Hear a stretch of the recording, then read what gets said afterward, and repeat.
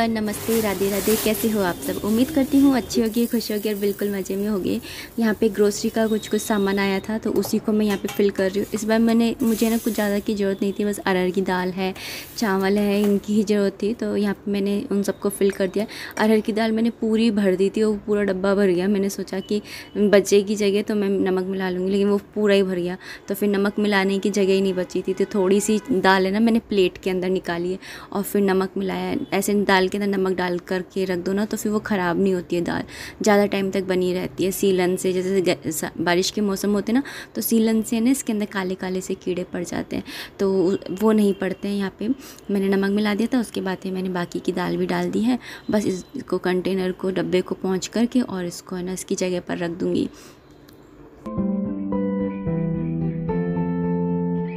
देखिए दोस्तों, इसमें डला है तेज पत्ता और खड़ा नमक, ये वाला।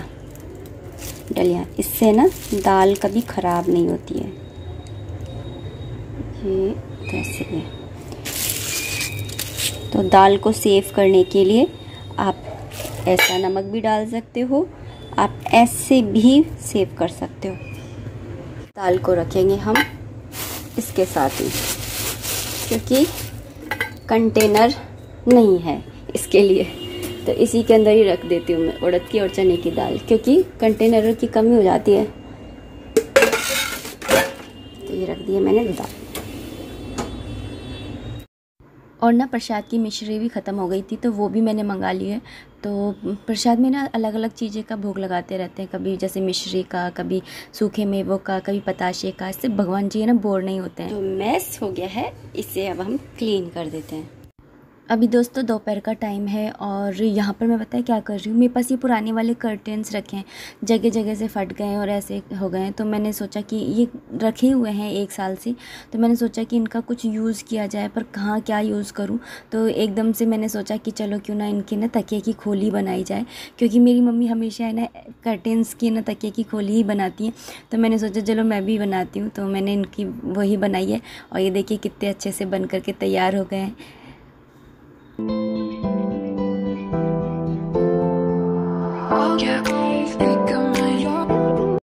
और अभी मैं ना इनके सर में ना मालिश कर रही हूँ। इनके ना सिर में ना दर्द हो रहा था तो मैंने बोला, लाओ, मैं मालिश कर देती हूँ। और पीछे टाइम दिख ही रहा होगा कि कितने बज रहे हैं। तो हमारे तो रात में ऐसे ही बजते हैं, ग्यारह बारह, ऐसे ही बजते हैं हमारे डेली ही। और आज है नेक्स्ट डे तो अभी मैं हर्षित के लंच की ना प्रिपरेशन कर रही हूँ। जब है ना नहाने गई थी ना, उसी टाइम पर मैंने ये सूजी और ना, दही को भिगो करके रख दिया था। और उसके अंदर आकर के बस मैंने सब्ज़ियाँ मिलाई हैं और मसाले ऐड किए हैं।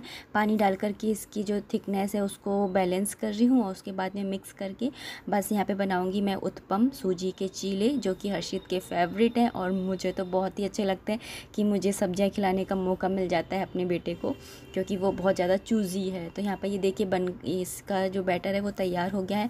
यहाँ पे मैंने तवा भी चढ़ा दिया है जो अच्छे से गर्म हो गया है। तेल को मैंने स्प्रेड कर लिया है।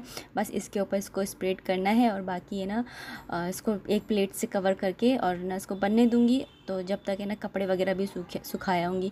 तो जब मैं इनको बनाती हूँ ना, तब तो मेरे को ना इतनी ज़्यादा कन्वीनियंस हो जाती है कि है ना, इसको करते करते मैं छोटे मोटे काम और कर लेती हूँ। तो यहाँ पे ना मैंने इसको ढक दिया था कवर कर दिया था प्लेट से। थोड़ा सा ऑयल लगा करके मैं ना मस्टर्ड ऑयल का ही यूज़ करती हूँ। इंडियन कुकिंग के लिए बेस्ट ही रहता है ये, सरसों का ऑयल हेल्थ के लिए अच्छा रहता है। और यहाँ पे ना मैंने इसको पलट दिया है और इसको एक बार फिर से कवर कर दिया है। और इस तरह से जो मेरा ना, उत्पम है। हर्षित के लिए जो मैं बना रही हूँ लंच बॉक्स के लिए, मेरा नहीं एक्चुअली सूजी का है तो वो बन करके तैयार हो गया है। और साथ में मैंने उसके लिए ब्रेड भी सेक दे रही हूँ, क्योंकि ना हर्षित को जब से ना वो हुआ था ना, उसको स्कूल के अंदर प्रॉब्लम हो गई थी, तब से मैं ना उसके लिए ना लंच बॉक्स में ना सुबह ना चाहे एक बिस्कुट ही खिला के भेजूँ, चाहे दो ब्रेड ही खिला के भेजूँ, लेकिन कुछ ना कुछ खिलाकर ज़रूर से भेजती हूँ।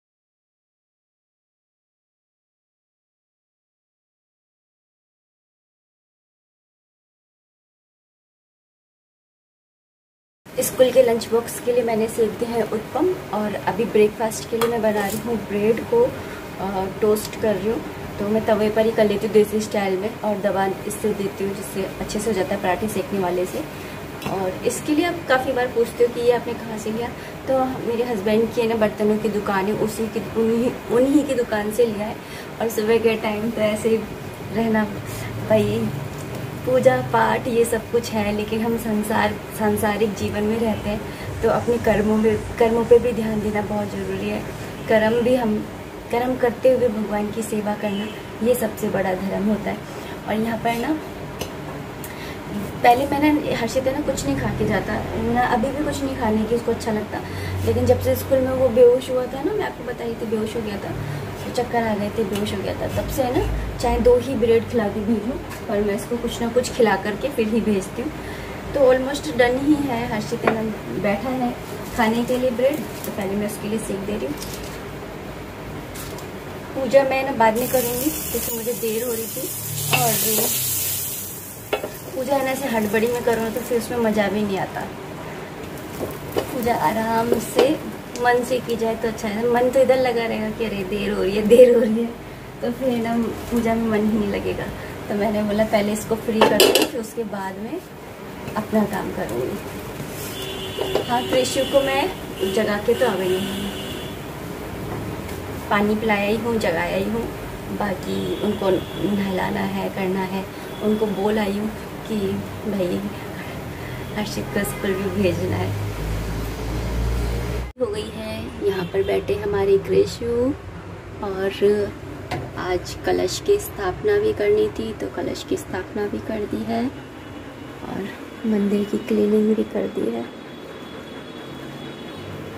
चालीसा का पाठ भी हो गया और अभी टाइम हुआ है सेवन थर्टी तो चलिए अब अपने कृषि के लिए दूध ले आते हैं। दूध का भोग लगा दिया था, साथ में ना फल है या बिस्किट वगैरह रख देती हूँ और यहाँ पे ना मैं, क्योंकि हर फ्राइडे को बेडशीट है और पिलो कवर्स है, इनको चेंज करती हूँ तो कल इनको सिला ही था तो आज तो इनको पहनाना बनता ही है। कल मैं रुक गई थी, एक को एक को एक्चुअली पहना दिया था फिर भी मैंने, लेकिन फिर मैंने बोला कि कल ही पहनाऊँगी क्योंकि कल फ्राइडे है ना तो चेंज तो करना ही है तो फिर मैं आज के लिए रुक गई थी तो ये देखिए, मैंने इनको पहना दिया है और ये देखिए कितने, यहाँ पर ना मैंने ये बांधने की लगाती है, जिससे कि ना तक ये निकले नहीं, क्योंकि ये हर्षित है ना ऐसे उधम मचाता है ना तो सारे तकिए वकिए ना बाहर निकाल के पटक देता है। इतनी खुशी मिलती है ना अपने हाथों से कुछ बनाओ मतलब कि कुछ चीज़ है जो वेस्ट पड़ी है फिर उसका कुछ बना दो कि, तो कितना अच्छा लगता है ना। तो आज मैंने कल मैंने बनाए थे ये आज मैंने इनको बिछा दिया है और अभी मैं करने लेने जा रही हूँ अपने लिए ब्रेकफास्ट तो चलिए लेकर के आते हैं। के लिए सेके थे तभी मैंने अपने लिए भी सेक लिया था। तो चलिए इन्जॉय करते हैं। तो जो पुराने कर्टेंस होते हैं उनका सबसे बेस्ट रीयूज़ मुझे यही लगता है कि तकिए की खोली बना लो थैले बना लो या फिर जो ना, कुर्सियों के कवर होते हैं ना जैसे जो ना गद्दी वगैरह होती है दुकानों पे जो कुर्सियाँ लगी होती हैं उन कुर्सियों के पीछे के सिराने के जो होते हैं उसका कवर बना लो नीचे बैठने के लिए जो गद्दी होती है वो बना लो। तो है ना बेस्ट यूज़ है। मेरे ने अपनी मम्मी को यही करते हुए देखा है, पुराने कर्टेंस के साथ में। तो बस मैंने भी वहीं से ही ये सीखा है और मैंने सोचा कि आज मैं भी अपनी लाइफ में इसको अप्लाई करूँ। तो मैंने बनाए और पहली बार बनाया ना तो मुझे खुशी हो रही है। कि दोस्तों, अब इस ब्लॉग को इतना ही रखते हैं। उम्मीद करती हूँ पसंद आया होगा। हस्बैंड जी अभी सो रहे हैं, उनको जगाऊँगी, क्योंकि टाइम भी हो गया है उनके जगने का। वो साढ़े नौ, दस बजे ही उठते हैं तो अब उनका टाइम भी होगा। इतनी देर तक मैं ना, मेरे इतने सारे काम हो जाते हैं कि मैं आपको क्या ही बताऊँ। कि ना वीडियो को एडिट करने का काम है या फिर ना वीडियो बनाने का काम है सब्ज़ी बनाना है तो ये सारी सा, सारे सारे काम है ना मेरे हो जाते हैं। तो दिन के अंदर ना मेरा मुझे ना बहुत सारा टाइम मिल जाता है। तो यही है लाइफ सबके अपने अपने ना रूटीन्स होते हैं सब अपनी अपनी रूटीन्स को फॉलो करते हैं। तो यही है। तो चलिए अब इस वीडियो को इतना ही रखते हैं। उम्मीद करती हूँ वीडियो पसंद आया होगा। अगर आया है तो प्लीज़ लाइक कर दीजिएगा। ये मच्छर मुझे बहुत परेशान कर रहा है। तो अगर पसंद आया हो वीडियो, कहीं से भी कुछ भी अच्छा लगा हो तो लाइक ज़रूर कर दीजिएगा। आपका एक एक लाइक जो होता है ना, वो मोटिवेट करता है नेक्स्ट वीडियो बनाने के लिए। और चैनल पे नए तो चैनल को सब्सक्राइब कर लीजिएगा। मिलते हैं नेक्स्ट वीडियो में। तब तक आप अपना खूब सारा ध्यान रखिए, खुश रहिए कि पिंजो जय माता दी। राधे राधे